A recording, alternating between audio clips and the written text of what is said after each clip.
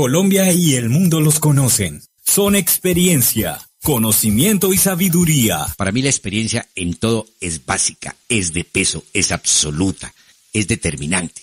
Ahora, si vos esa juventud, ese ímpetu, esa entrega del juvenil, la acompañas de la experiencia, de la veteranía, hermano, ahí tenemos otra cosa. Uno no está en contra de la renovación. No. Uno no está en contra de que salgan nuevos jugadores. Lo que pasa es que las cosas hay que saberlas llevar. En el Envigado puedo jugar con 11 pelados, porque esa es la misión del Envigado, formar jugadores para vender. Pero frente a frente. Desde Bogotá y Cali, Rafael Villegas, el líder, y Marino Millán, frente a frente. Frente a frente. Frente a frente. Dos voces autorizadas para hablar de lo que a usted más le gusta. Estamos sonando. M3 Estéreo. La esquina.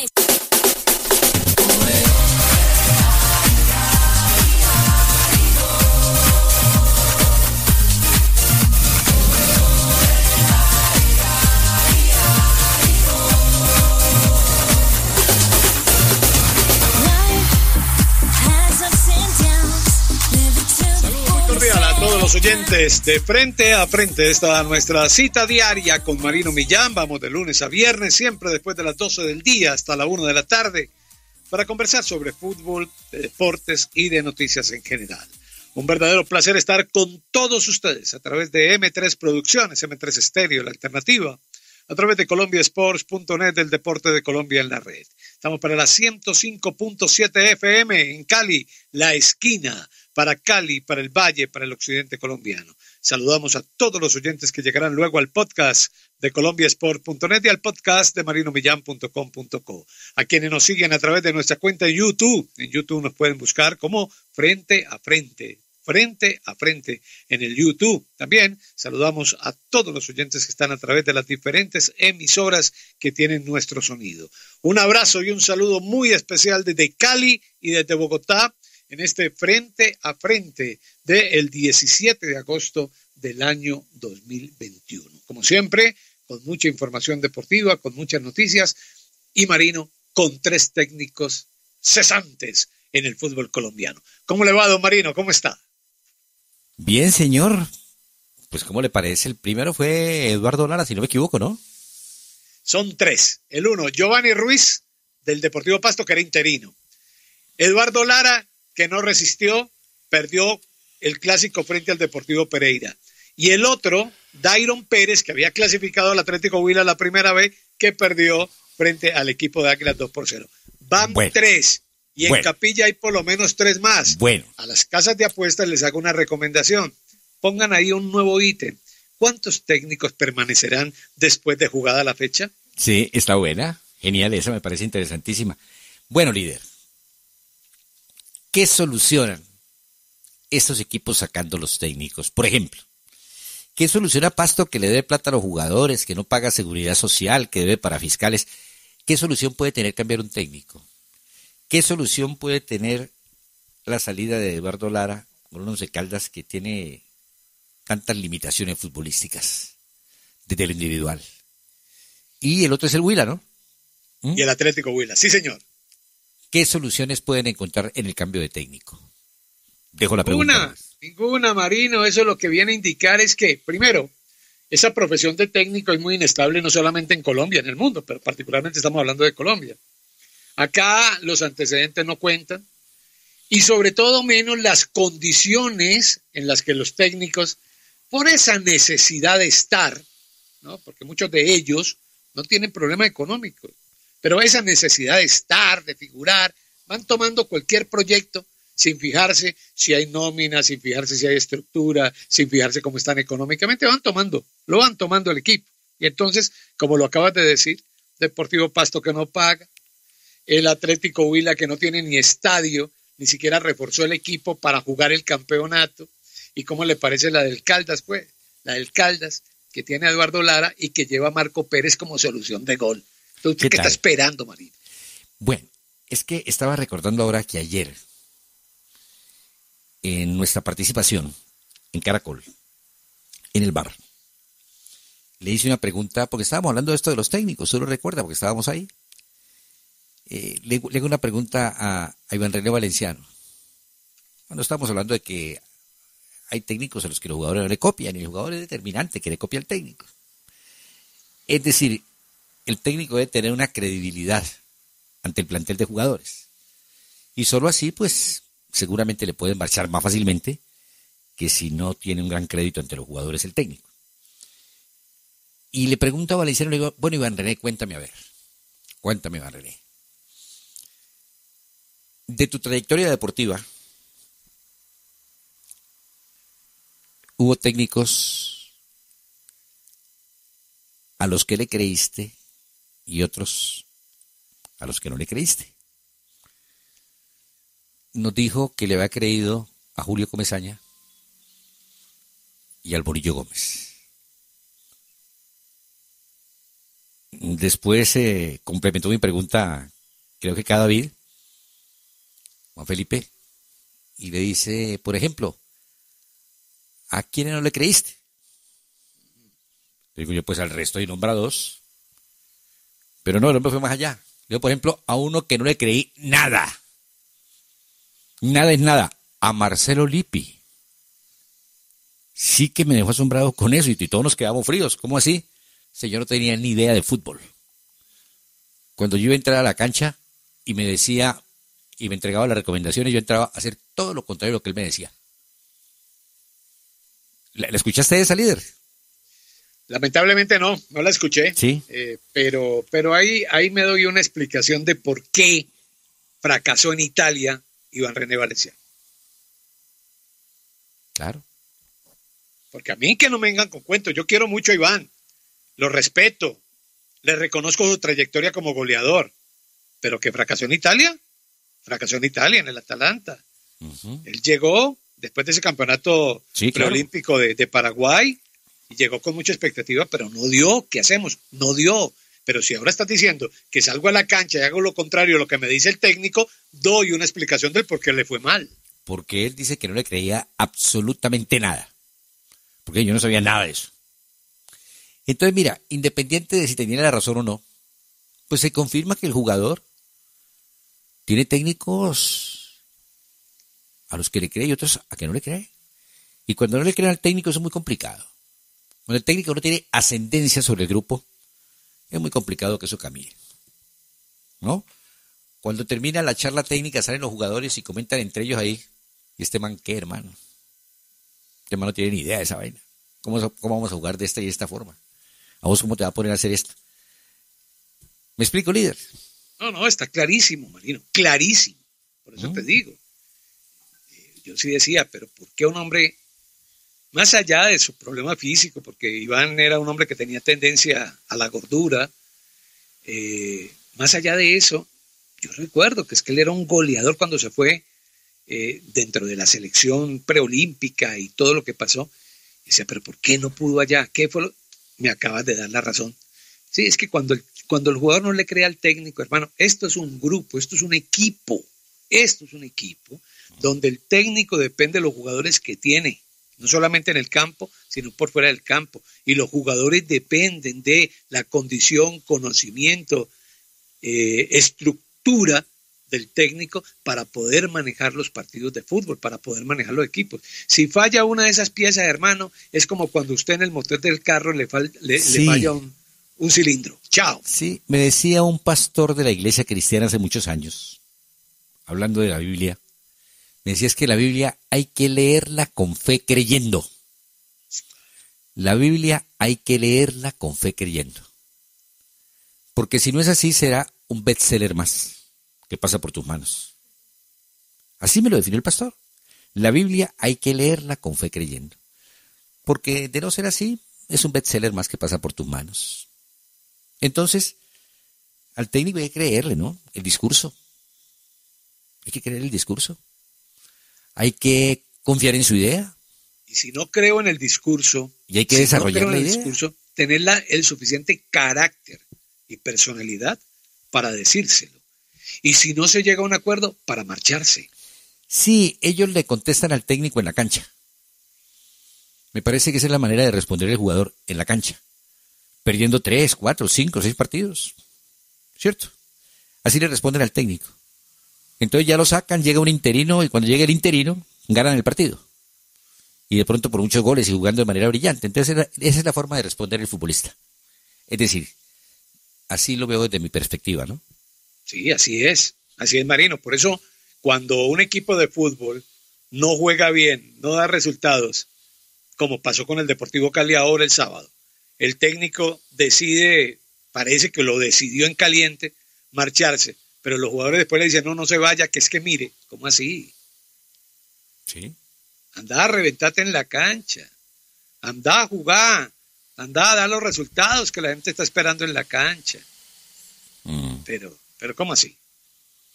¿Quieres quedar bien con Dios y con el diablo? No, queda primero bien con vos mismo. De acuerdo. Líder, ¿cómo te parece que, hombre, me impactó esto que escuché de un comentarista español? Una despedida a Messi, ¿no? Lo que es, digamos, el no sin Messi. Esto tiene un par de minuticos, vale la pena que lo escuchemos, hombre. ¿Te parece? Me parece muy bien. A ver, dale. Ahí está. Desde Zidane, y si lo decías al principio, el Camp Nou más nostálgico, frustrado, triste y melancólico. Ayer París era una fiesta, pues hoy Barcelona representa todo lo contrario, porque Messi aquí ya es historia. Messi es pasado, no fue el suyo, el adiós deseado, fallaron el cuándo, el cómo y el por qué. La falta de respuestas a ciertas preguntas aumenta el desazón culé. La falta de respuestas sigue atenazando esta salida del 10. Hoy los culés, los pocos que lo harán por cierto, se asoman al estadio y toman conciencia de lo que puede venir por delante. Messi es la punta del iceberg, pero las distintas capas de hielo retratan a un club en quiebra, sin rumbo aparente, falta de ilusión, huérfano de líder. Temen los barcelonistas estar iniciando una travesía por el desierto y se asustan al comprobar que tras la marcha del 10 apenas llevan agua. Arranca hoy en el Camp Nou la era post-Messi. Sí, lo que pesa hoy es verle sonreír en París pocos días después de estar llorando en Barcelona y se impone más el miedo ante lo que vendrá que el placer de lo que fue. Poco a poco en el Barça se irá tomando a distancia.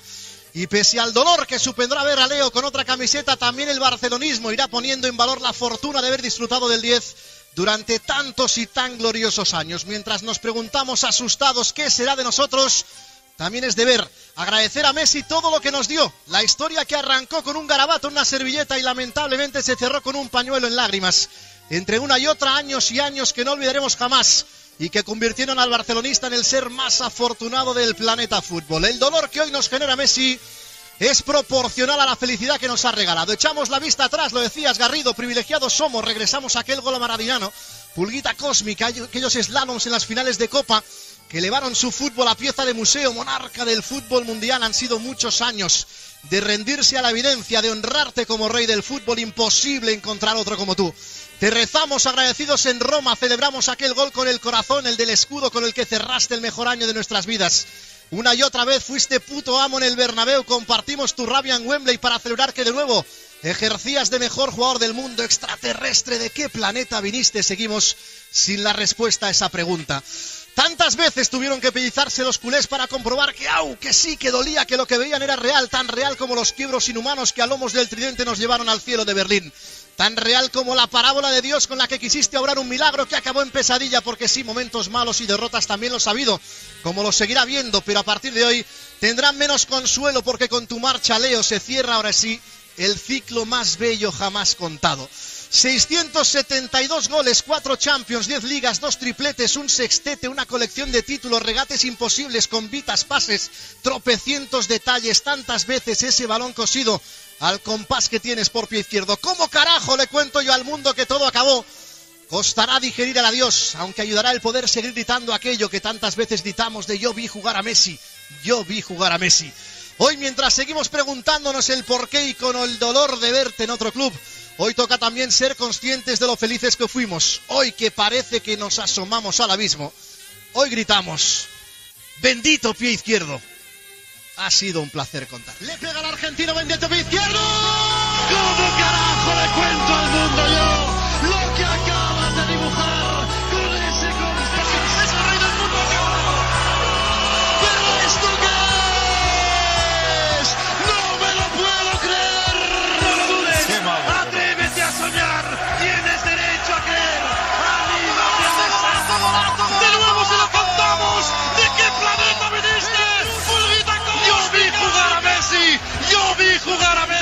es que este lanzamiento es la parábola del Dios.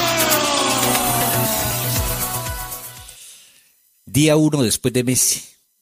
Luis Flagger, de la cadena Ser, y esto que recogemos una de sus frases, ¿no? Se cierra el ciclo más bello jamás contado. ¿Cómo te pareció, líder?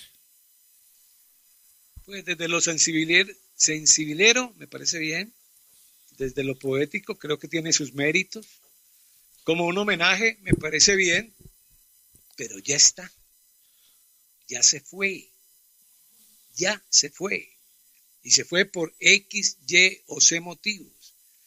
No se le puede quitar todo el reconocimiento a toda su campaña, de toda su vida en el equipo del Barcelona, pero ya se fue.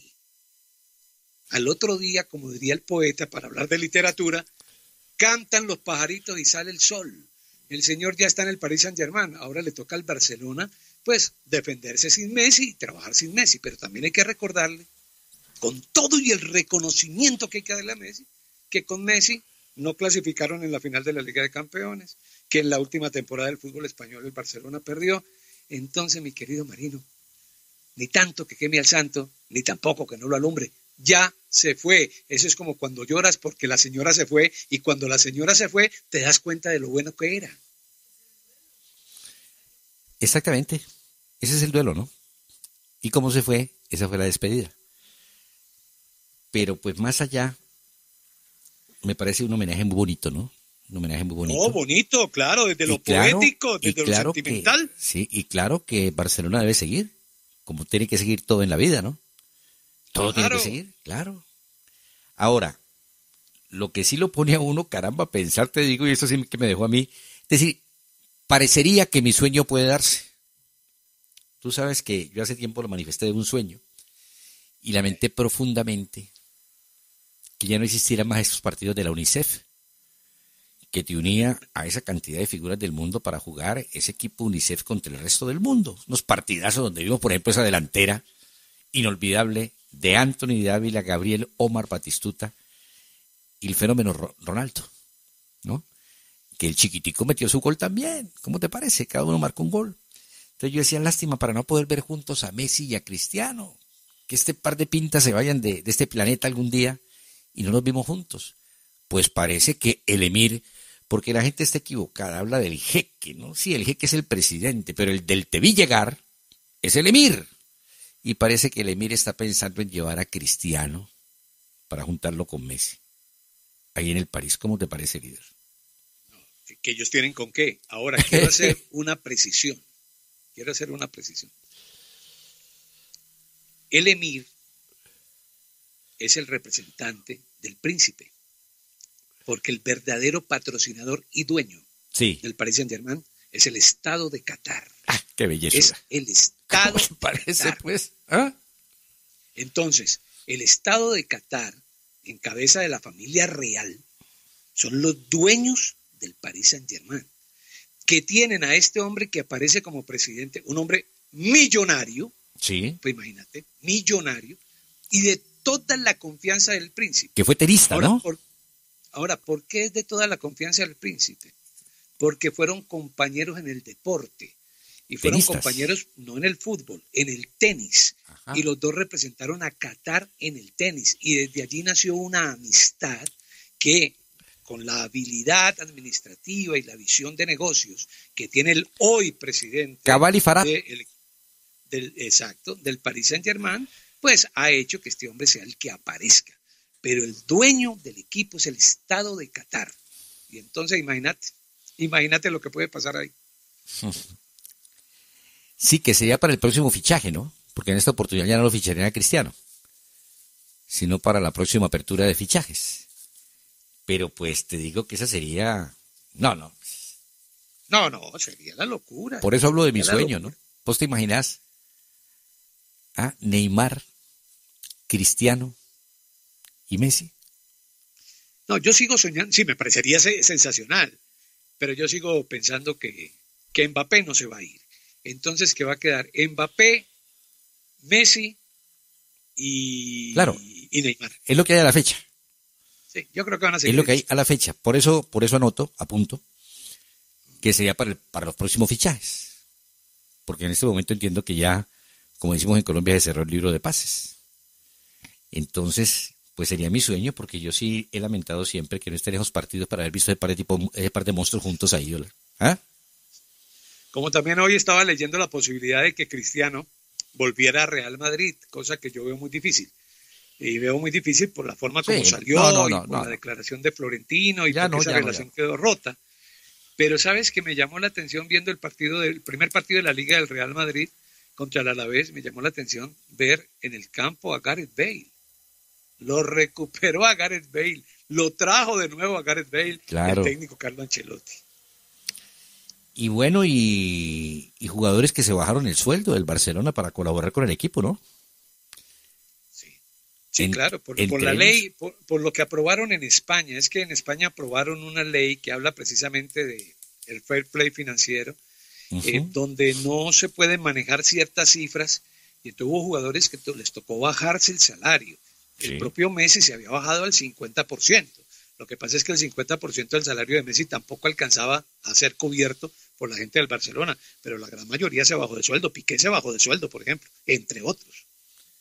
Claro, y por ahí yo no alcancé a leer la manifestación de Shakira sobre el tema de su esposo con la rebajona del sueldo. No sé si te Pero Shakira, Shakira no tiene problema y Shakira tiene más plata que Piqué. Sí, claro. Los jodidos somos vos y yo. Ay, Dios mío bendito. Qué rico es hablar de la plata de los demás, ¿no? A vos te dicen, a vos te dicen que te van a bajar el sueldo. No, me echan de la casa. Por eso en tu casa hay un drama. No, no, no hay drama.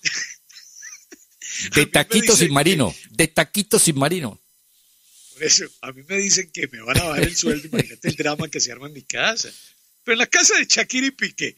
¿Cómo te parece? Donde la mona tiene más plata que el otro. No, no, no, ni hablar, pues, ni hablar. ¿Qué tal es? El problema es cuando a Shakira le bajen los ingresos, Piqué le dice, y entonces, mija. ¿Me toca a mí? Sí, pagar, pagar la, la luz. Entonces, no, todo esto es fantasía, ¿no? Para acá, para esta parte del continente del universo es fantasía. Es una fantasía. Juntar todos esos tipos ahí. Ahora, pues lo que siempre hemos hablado, ¿no? El fútbol te ofrece revanchas y son casi que inmediatas. No se ganó la Champions, entonces traemos a Messi. ¿Mm? Y si por ahí, ¿no? Entonces también viene Cristiano. ¿Y quién más está por ahí? Que levante la cabeza, levante la mano, ¿quién quiere venir para acá? Esto es una, una bellezura. Ahora, ¿qué le toca? ¿Qué le toca al París? Ser campeón de la Champions. Ah, no, nada Tiene más vuelta. Sí, nada que hacer, nada que hacer. Nada que hacer. Tiene nada más que hacer. ¿Qué le toca al Barcelona? Al Barcelona le toca recuperar su protagonismo como campeón en la Liga Española. Y al Madrid también. Para hacer sentir que sí, que lo de Messi fue muy importante, que mucho agradecimiento, que ha sido un hombre histórico, pero que la vida sí. ¿Viste, ¿Viste a ese de Paul ya con Atlético de Madrid? Sí, lo vi un rato, ¿no? Lo metieron un ratico nomás. Sí, claro. Pero caramba, sí, hola. Esa explícame la voz, pues. Explícame la voz que estudiaste con todos esos tipos, con Rueda, con Abadía, con todos los profesores con Eduardo Velasco, con toda esa gente. Explícame por qué esos manes por allá llegan y juegan el otro día. Y aquí es un drama para el que llega, ¿no? Inmediatamente, la grasa, la no sé qué vaina, el peso. ¿Por qué esos manes llegan y juegan de una ola? Explícame esa pues, líder. A ver, yo me quedo calladito. Te voy a oír y te voy a creer. Simplemente porque son profesionales. Es que todo pasa por el profesionalismo. Entonces es un jugador profesional que vive de eso y que gana las millonadas que gana. Lo mínimo que tiene que hacer es cuidarse, ¿cierto? Como decís vos, aquellas y los futbolistas viven del cuerpo. Entonces, si no se cuidan, si no se cuidan, y entonces yo por eso no acepto, no lo he aceptado nunca, que un jugador venga de vacaciones con 5 y 6 kilos por encima. ¿O qué tal la que estaba pasando con Campas? Que después de la Copa América, donde no jugó, jugó un ratico creo, llegó a Alto Lima y no podía actuar porque tenía tres kilos por encima. ¿Cómo así? No, no, no, eso es profesionalismo, hermano. Es una cuestión de mentalidad. Física, mentalidad. en eso es que perdemos, ¿no? Sí, por esas razones que nos faltan los 20 centavos para el peso.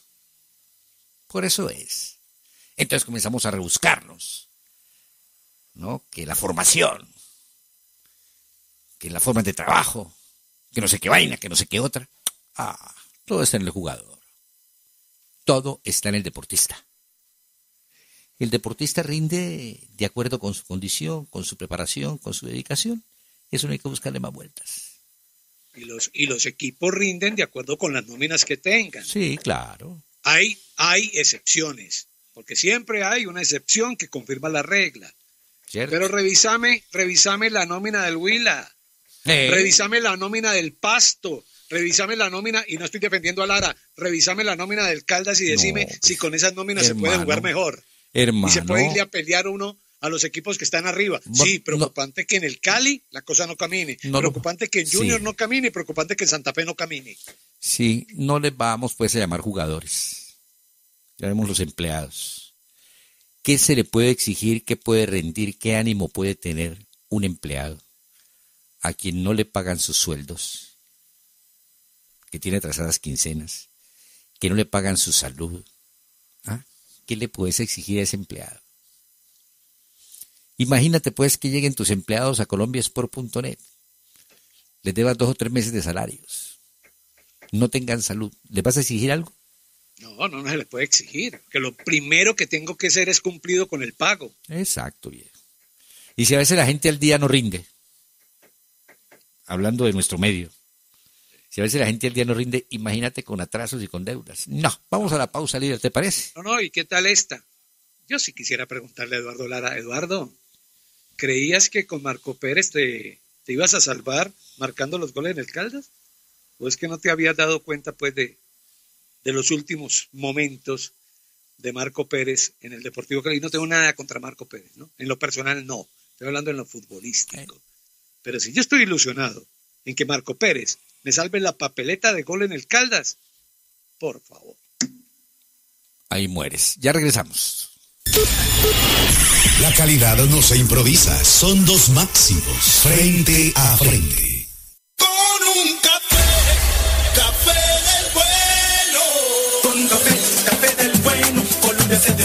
Se toma un tinto. Que rico es un ratito. Con un tinto el mundo es distinto. Con un tinto. la roja!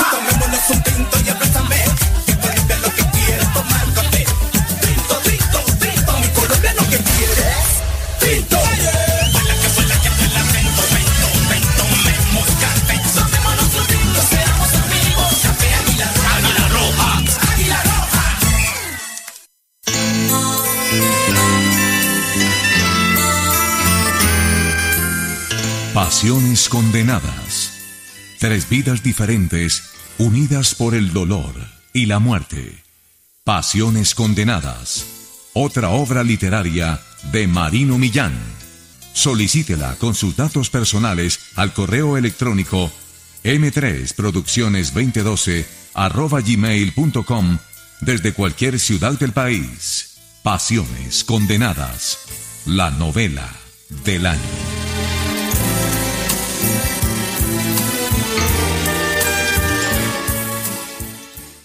Credinominat en época de COVID continúa atendiendo las necesidades de nuestra gente y nuestros clientes así lo confirman. Quiero dar testimonio de Credinómina. Soy policía activo. Tenía un embargo y nadie me prestaba dinero. Y en Credinómina me dijeron que sí, que no había ningún problema. Yo por eso recomiendo a Credinómina.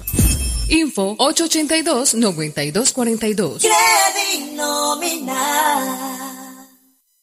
Escuela de Fútbol Sao Paulo Cali. Ven, entrena con nosotros y aprende jugando. Recibimos niños y niñas desde 5 hasta los 17 años. Estamos ubicados en el Polideportivo Bloques del Limonar, carrera 65B con calle 15. Info 304-521-6114. Sao Paulo Cali. Formando campeones. Johnny, en tu primer día de trabajo, demuestra de lo que eres capaz. Tú puedes. Hermanita, sacarás 10 en ese examen. Tú puedes. Estos mensajes y todos los que cada mañana, cada día, todos los días nos llenan de energía y vitalidad diaria son patrocinados por Carrito Rojo, que con su fórmula única de JGB lleva más de 90 años al lado de las familias colombianas para que siempre puedan decir, tú puedes. Este producto es un suplemento dietario, no es un medicamento y no suple una alimentación equilibrada. Si deseas un entrenamiento deportivo especializado, puedes hacerlo con starfit.col. Running, funcional, TRX y mucho más. Starfit.col. Entrenamiento preventivo sobre lesiones deportivas. Estamos contigo. Trabajamos por tus metas. Propietario y entrenador. Steven Moscoso. Info 311-727-8938. Síguenos en redes sociales como arroba starfit.col o en arroba Steven Moscosos. Tu salud es nuestra prioridad. En el Parque La India Elena le espera Arepas B, chorizos, perros, pinchos, asados y la arepa tradicional con pollo y chicharrón, carne desmechada, queso y jamón o como la prefiera hamburguesa tradicional y ahora la exquisita hamburguesa 100% carne angus. Arepas B, calle 17, número 2624, Barrio Santa Elena. Domicilios 300 512 6767. 300 512 6767. Fiesta, decoración, la hora loca. Mm, piñatería Don Roque. Para tu celebración, fiesta de niños, fiesta empresarial y cualquier tipo de ocasión, Piñatería Don Roque lo tiene todo. Carrera octava número 13103 y carrera novena 13121, segundo piso. Info 884-1385, 885-1793. Piñatería Don Roque. La esquina. La esquina. La calidad no se improvisa, son dos máximos, frente a frente.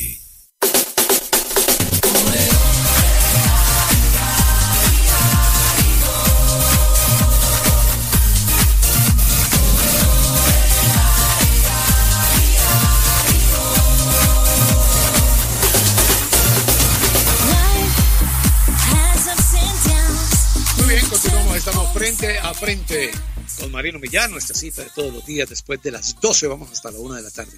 Marino acaba de tuitear el Medellín eh, unas fotos de Juan Fernando Quintero entrenando con el equipo.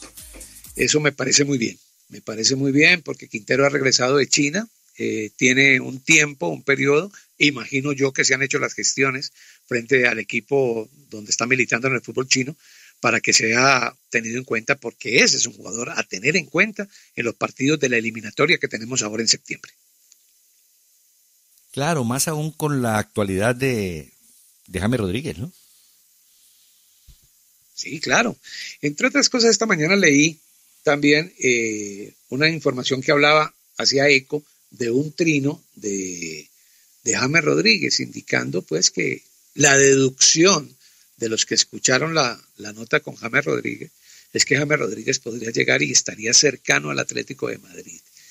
Cosa que yo querría ver, porque mm. me parece a mí, es un concepto futbolístico, que James eh, en su fútbol, en la manera de encarar el fútbol, dista de la idea de Simeone en su fútbol. Pero totalmente, totalmente viejo. Mira, pues acá a la distancia, porque yo ni siquiera le he estrechado la mano a Simeone nunca en la vida. Ni siquiera telefónicamente lo he entrevistado. Pero acá a la distancia lo que capta uno de Simeone es que lo primero en un equipo de Simeone es la parte físico-atlética. ¿Tú percibes lo mismo? Sí, claro, es que el, fútbol de Simeone es un fútbol es que... Una, es una exigencia física al extremo. Hacia ahí, claro una exigencia física al extremo.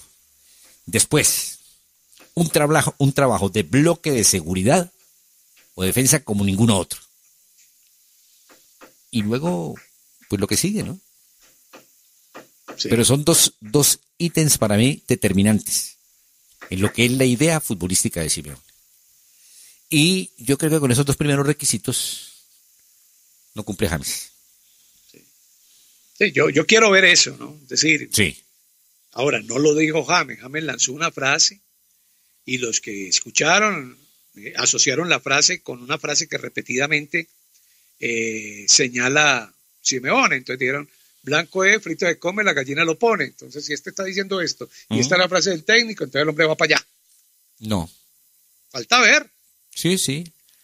Como dicen, pago por ver, ¿no? Ahora, mira, yo te digo, viendo, viendo el partido de Real Madrid contra el Alavés y viendo cómo el técnico Ancelotti llamó de nuevo a Gareth Bale, yo pensé inmediatamente, dije, ah, esa era la oportunidad de James de volver al Real Madrid. Era la oportunidad, porque es que yo te digo, en mi concepto, tú sabes que esto es de conceptos, pero si yo tiro la moneda al aire y tengo que escoger entre Bale y James por su reciente pasado en el Real Madrid, me quedo con James. Sin desconocer que Bale es una jugadora. Sí, sin desconocer eso. Claro. Sí, hay una primera etapa de James brillante. Y fue con Ancelotti. En Real Madrid, claro. Pero eh, tú sabes que, pues en los gremios no hay secretos. Cuando digo gremios es que los abogados saben lo de todos los abogados. Ay, ahora qué decís abogados. Los médicos saben lo de todos los médicos. Los periodistas sabemos lo de todos los demás periodistas. En el fútbol todos saben lo de los demás futbolistas. Y Ancelotti debe estar al día de, de la actualidad de James, ¿no? Absolutamente. Absolutamente. Sí, no, claro. Y creo que la Sí, actualidad sí. de James no satisface a ningún técnico en Europa. No, no, es que mira, James lo han ofrecido por todo lado. Y lamentablemente no se da. Y James fue al Everton porque fue gratis al Everton. ¿De acuerdo? Ah, no gratis en su sueldo porque él no es, Sí, sí, sí. él tiene que cobrar su sueldo, pero en el negocio entre clubes fue gratis, fue cedido. Y resulta que no, no se da, no se da el negocio, no se da. Entonces, eh, eso lo único que habla es del momento de, y de la situación de James futbolísticamente. Que, Bueno, ojalá, líder. que ojalá se recupere, que ojalá lo recuperemos, todo lo que usted quiera. ¿ya? Pero esa es la realidad de- del hoy. Es la realidad del hoy. Bueno, Sí, líder, sí. la fecha. Venga, venga, pero es que usted acaba de decir algo que yo quiero, no quiero pasar por alto porque lo tenía aquí anotado. Yo le voy a pedir a nuestro compañero Alegrías Sí. y a nuestro compañero Jarito Caicedo, a quien no he vuelto a escuchar. Está vacacionando en, en los Estados Unidos. Ah, bueno. Creo que tenía cuatro periodos acumulados, Ah, bueno. que no es legal tampoco, ¿no? Y a todos estos muchachos, pues, que, que por su trabajo eh, están cerca de los clubes y que uno siempre al comienzo del año, al comienzo de la temporada, está pendiente de las noticias que ellos van entregando porque ellos comienzan a decir, este jugador lo contrataron, este se va, a este lo prestaron, hicieron esto, contrataron al técnico tal, tal, tal. Trabajo supremamente importante para todos nosotros.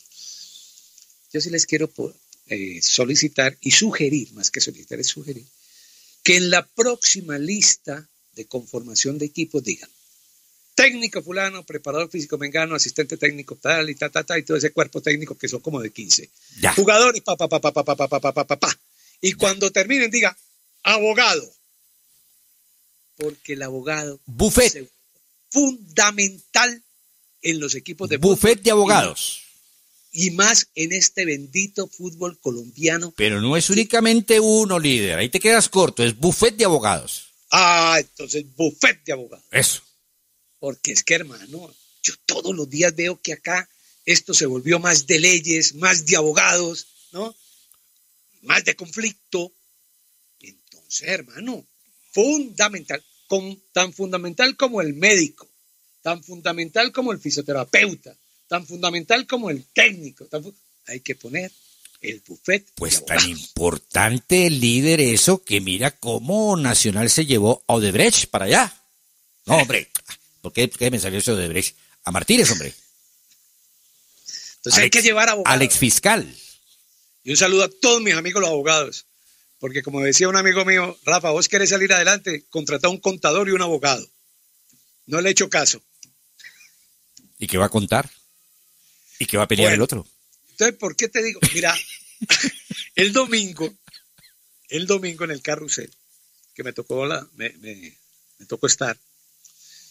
Entonces, llaman a César Guzmán. César Guzmán. No, te escuché por toda parte. Me subí en tres taxis y ahí estaba el líder. Dije, este man Propietario, propietario. Está sonando más que James Rodríguez. propietario empresario de Patriotas. Y la perla de César Guzmán fue sensacional.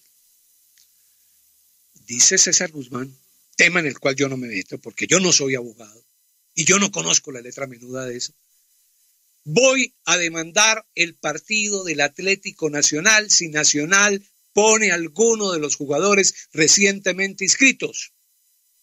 Porque de acuerdo con la norma, la reglamentación y la intención de la ley dentro de la DIMAYOR, esas inscripciones son irregulares. Por lo tanto, demandaré el partido, pase lo que pase. Entonces yo le pregunté. Sí, claro, ¿cómo supe eso, supe, supe, supe. explicar. Y dentro de su explicación dijo algo que también me llamó la atención. Llegó y dijo, no, es que yo le dije al presidente de la DIMAYOR, al doctor Fernando Jaramillo, y él se sorprendió cuando yo le expliqué. Pero me terminó diciendo, dice César Guzmán, me terminó diciendo Fernando Jaramillo que no, que tomaron una decisión por conveniencia. Entonces, claro, yo le tengo que preguntar, ¿cómo así que por conveniencia? Y me contestó, no, es que ante los líos que se presentaron y la demanda de Cortuluá y, Y todo tal y qué esto, tal. él dijo que era conveniente. Ah, le dije, ¿ah, sí? Listo, me quedé ahí. Inmediatamente, porque tú sabes cómo es Diego, para buscar información, llamó a Fernando Jaramillo. Y entonces, ¿qué tengo que hacer yo? Pues preguntarle a Fernando Jaramillo. Y Jaramillo dijo, no, yo no he dicho eso. Yo no he dicho eso. Hoy veo en algunas redes sociales de compañeros que replican eso. Entonces, mi querido Marino, hermano, definitivamente hay que contratar abogados. Y también para los grupos deportivos, porque así como tenemos analista arbitral, vamos a tener que tener analista jurídico, porque esto se complicó, Marino, está complicado por todos lados, estos tipos complicaron esta vaina. Ahí sí la famosa frase eh, que pusimos de moda con el desaparecido José Pardo Llada, ¿no? Cuando nos referíamos a algo, pues, a ver, algo que estuvo sabroso, algo que estuvo bueno, algo que es que eso, eso fue con abogados. O, o eso va a ser con abogados. A ver, líder, ¿y la fiesta de tal cómo va a estar? Eso va a ser con abogados. Eh, líder, ¿cómo la pasaste y tal? De película, eso estuvo con abogados. ¿Y de dónde nos nació eso? Eso lo manejábamos todos, Vicente Gallego Blanco, Luis Fidel Moreno, Mario Alfonso, Rafael Arabujo, Marino Millán, todos los que éramos del entorno de, de José. Porque nos contaba Pardo Llada de un cubano, de esos tramposos, ¿me entendés? De esos que, que, que, que enredan, pues mejor dicho, embolatar un duende, embolatar una escalera de tijera, ¿no? Y entonces era mala paga. Y un día llegó un cobrador ahí, pues, enardecido. Quiero hablar con ese sinvergüenza. Y entonces la secretaria, no, que es que le saca una larga distancia, que no sé qué vaina, que no sé qué cosa. No, me abre la puerta ya, tal, tal, tal. No, que es que el, doctor está ocupado, que está hablando con no sé quién, tal, tal. Me importa un carajo. Y rompió, se le pegó una patada a esa puerta y se la abrió. Entonces le dijo, sinvergüenza, me pagas porque me pagas o te demando. Y el muy cínico le dijo, pues demándame, chico, que lo mío es con abogados. ¿Mm? Seguro. Entonces ahora este fútbol es con abogados. No, no, no, ya hay que tener abogado, hermano, por eso te digo, tan importante como todo lo que nombré ahora, y esa es la recomendación para mis amigos como Alegrías, como Jarito y como todos los muchachos que cubren los equipos. El pastor, hombre. El pastor, no, el pastor no cubre los equipos, el pastor es más de análisis. Ya. Eh, ¿Cuál es el abogado del equipo? Sí, claro. Desde el comienzo de la temporada. Porque eso es con abogado, chico. Bueno, Qué vaina atención, Marino. Fresquito, caliente. Salido del horno, como dice el negro Mina, recién salido del horno. Junior Fútbol Club se permite informar a la opinión pública en general y a los Que aficionados. Luis en Amaranto Perea. Que el técnico Luis Amaranto Perea y sus colaboradores Eric Lira, español, John Jairo Escobar y Juan Camilo Quintero no continuarán en nuestra institución después de llegar a un común acuerdo con la Junta Directiva para la terminación de sus labores. La institución agradece la entrega, trabajo y sacrificio aportados por el cuerpo técnico de Junior durante el tiempo que estuvieron en nuestra institución. Con los mejores deseos en todo lo que emprendan de ahora en adelante, Corporación Atlético Junior de Hermano. Barranquilla está en la cuenta del Junior de Barranquilla. Sí, nada que hacer. ¿Por Es qué que hago la advertencia? Está en la cuenta Y la del misma, Atlético y la Junior misma con Miguel Ángel Russo en Boca. Es que viejo, lleva cinco, seis partidos, siete partidos, entonces sí, tenemos que esperar a que la idea, que perfecto. Pero después de un año, viejo, de año y medio, el del Cali lleva año, ocho meses, viejo. Yo te digo, basta con un, con, con un torneo, con una liga, con seis meses, viejo. Si después de seis meses de trabajo con un equipo no da resultados, no se pudo pero más de un año. Y seguimos y seguimos con él. No, los llamados equipos históricos, grandes, como llaman otros, yo, yo, yo le digo en Colombia los equipos principales. Hermano, si no se pudo, no se pudo y listo. Y sigue cambiar técnico cada seis meses, pues se cambia cada seis meses. Pero hermano, si saca el técnico el de Pasto, y saca el técnico el Caldas, y saca el técnico el Huila, entonces los principales, ¿qué?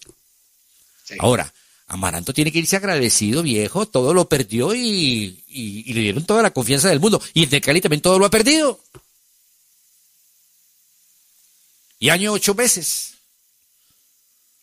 No, eso es cuando van cinco, seis partidos, siete fechas, y que faltan sesiones de entrenamiento, y que falta no sé qué. Perfecto, pero después de, de dos o tres torneos. No, papá. Y eliminado de toda parte.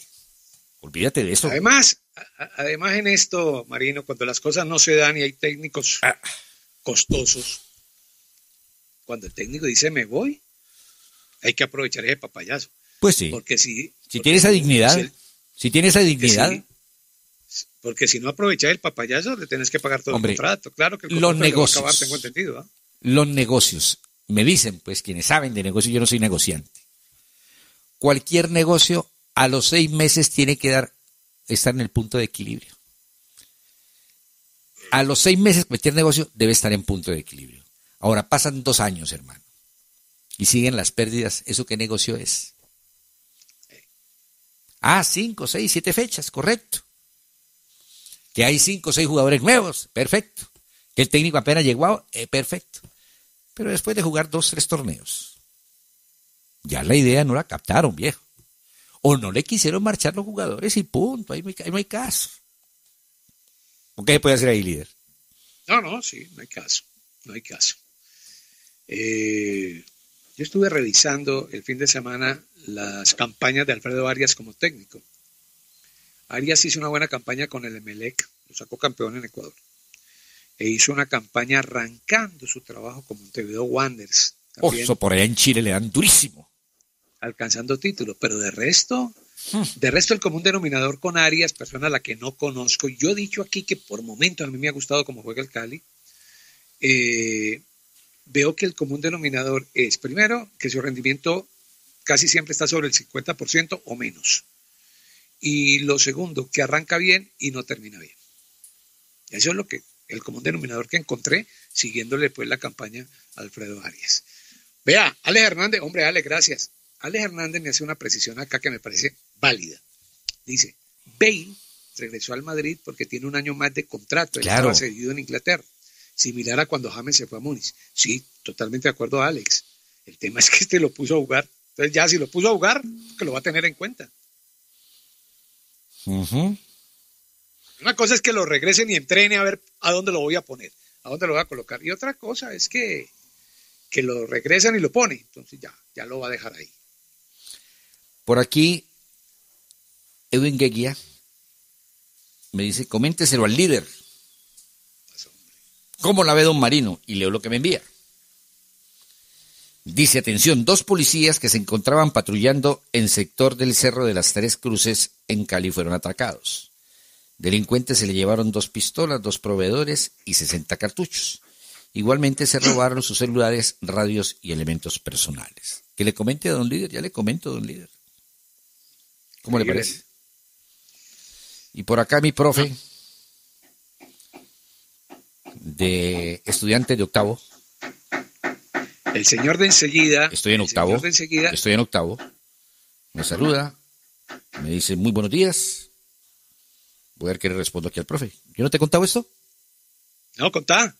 No, estoy en, en un, en un chat de esto de WhatsApp, en un grupo que llama Estudiantes de Octavo. Ah, Carajo. Y entonces yo no sé por qué estoy ahí.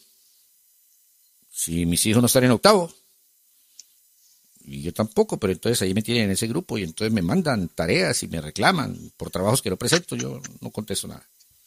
Está bien. Está bien. Y lo peor fue que me salí del grupo y lo eliminé y me incluyeron nuevamente. Estudiante de octavo, no sé de qué colegio. Eres, eres socio honorario. De la clase. grupo. De la clase, pero de la clase.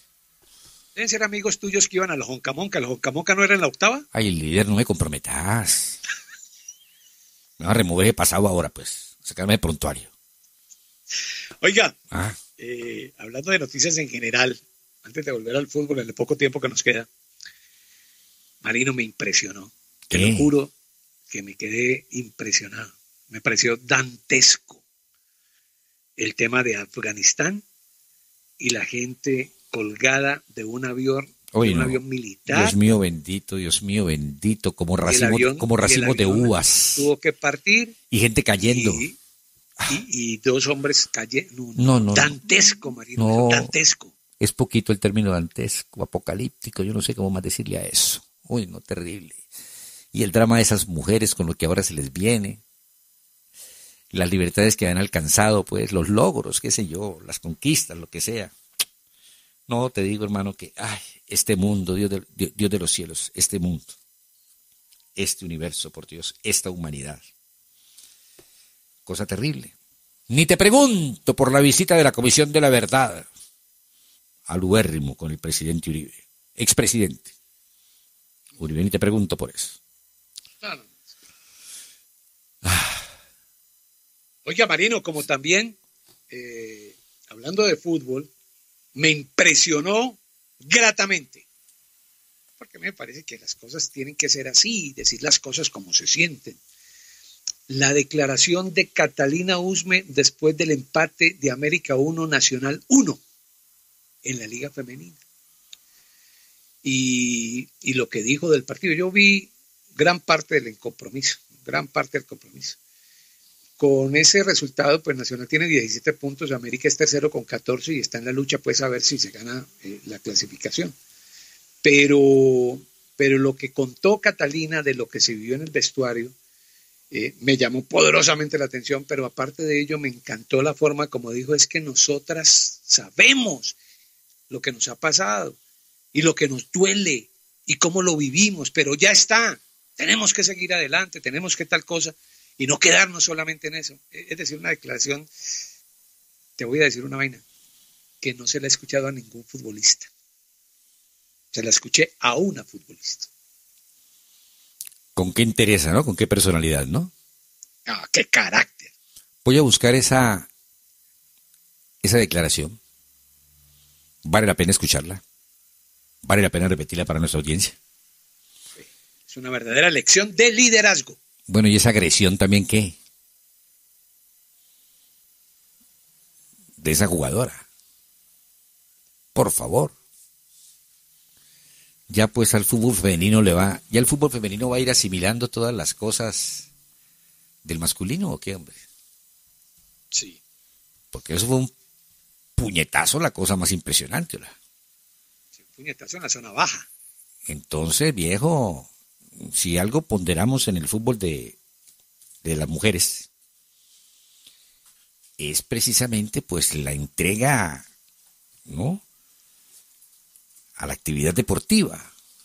El caer, levantarse inmediatamente, no hacer tiempo, nada de marrullas, nada de, de esta contaminación del fútbol masculino. Pues estamos entrando pues paulatinamente en esas cosas, no, ojalá le pongan freno a eso y sigan las muchachas jugando el fútbol como ellas saben hacerlo, con esa pasión, con esa entrega, con ese profesionalismo, con lo que es el espíritu del deporte, la competencia, ¿no, líder? Sí. Bueno, ya para irnos, me imagino que sí, pero si no lo han hecho, a los oyentes que nos están escuchando a esta hora, si no lo han hecho, búsquenlo. El gol de Juan Camilo Hernández con el Watford. Golazo en su estreno en la Liga Premier. Claro. Arran- Claro. Arrancó por izquierda, cruzó hacia adentro y sacó un remate, pero un señor ese- remate, un remate impresionante. A ese hay que pararle bolas.